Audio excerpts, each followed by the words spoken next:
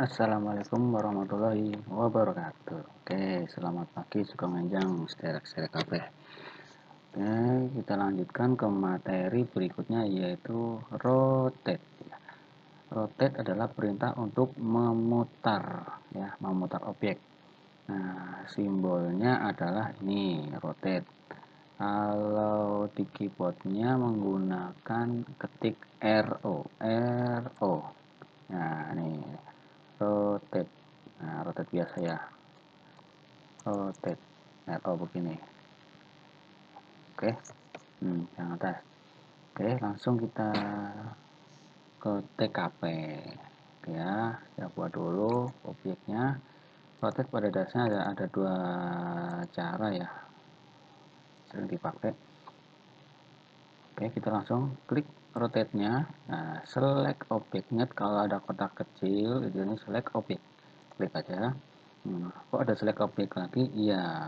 Kalau ada lagi klik lagi. Kalau tidak ada ya tinggal enter. Oke.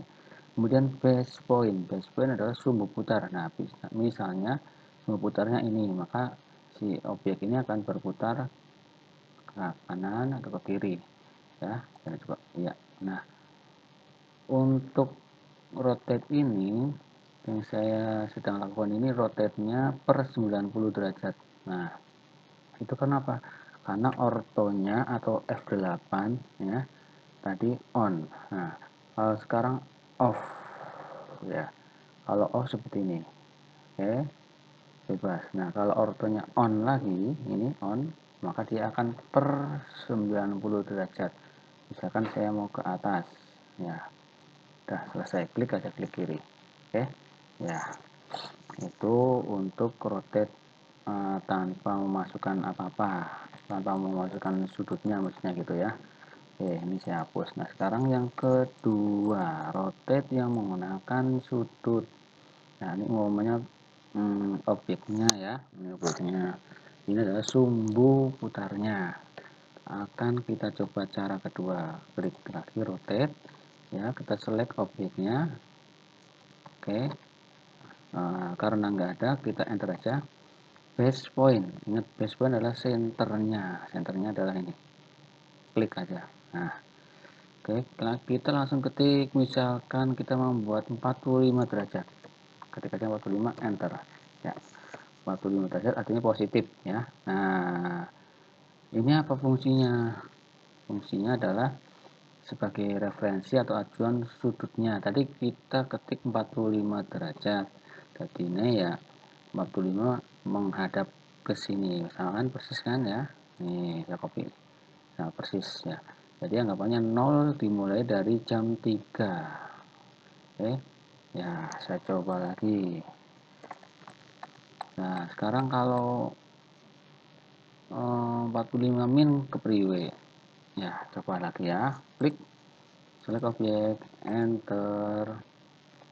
Base pointnya min 45 nah kok ke bawah? Iya karena ini kalau min ke bawah sini min plus. Oke. Nah sekarang kalau menghadapnya ke sini bagaimana kebalikannya senternya? Oke dicoba di shift. Hmm. RO atau select objek ini. Ya select objek. Senternya atau base point misalkan ketik 45 nah kebalikannya ya. Ya jadi kalau senternya di sisi kanan dia kebalikannya. Ya plusnya di bawah ya. Nah sekarang kalau min bagaimana? Min ya. Coba lagi select objek. Kalau nggak ada enter base pointnya. Kemudian nah kalau ada copy reference begini-begini langsung aja ke sudutnya. Nah misalkan min 45 iya 45 tuh ya. Nah pokoknya maju ke sini aja nih. Kalau, kalau begini sudutnya berapa derajat? Ya kita coba tarik. Nah kalau kita acuannya di nolnya di jam 3 ini jam 3 sore kita tarik. Berapa derajat sih? Ya kira-kira mungkin ya 135 derajat. Tapi kita coba dulu nih menggunakan angular ya untuk angler ini klik garis satu klik garis dua. Iya sama ya. Nih saya copy nih. Nah saya hmm, pada baik ya oke gampang banget pokoknya lah.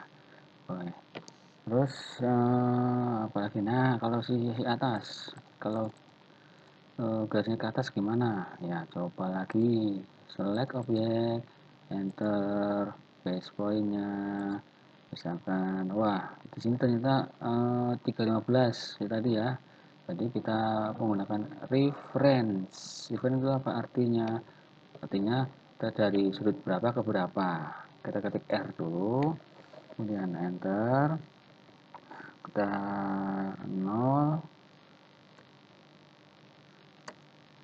ke 45 iya ternyata tadi saya plus ya makanya plusnya ke kiri.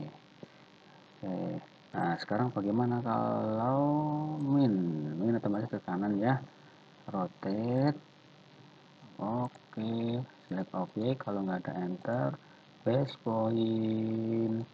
Kemudian nih masih ada 45 kita R dulu nolin dulu. Mulai dari 0 enter ke min 45 cek dari ke kanan. Kalau tahunya 45 gimana?